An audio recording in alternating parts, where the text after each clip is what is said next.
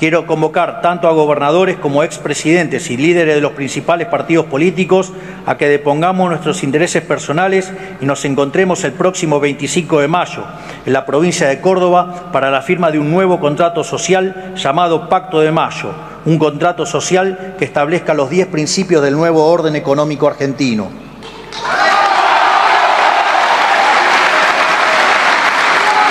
Ese pacto de mayo tendrá por fin establecer las 10 políticas de Estado que el país necesita para abandonar la senda del fracaso y comenzar a recorrer el camino de la prosperidad.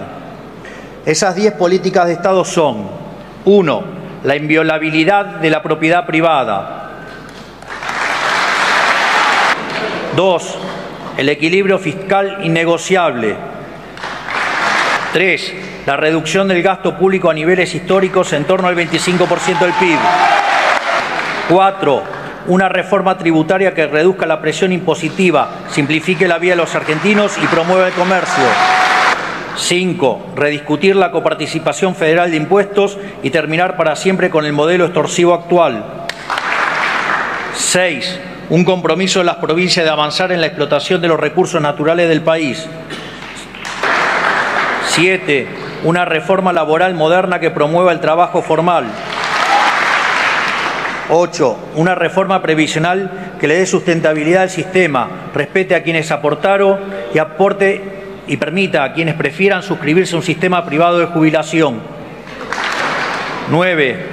Una reforma política estructural que modifique el sistema actual y vuelva a alinear los intereses de los representantes y los representados 10. Y por último, la apertura del comercio internacional de manera que la Argentina vuelva a ser un protagonista del mercado global.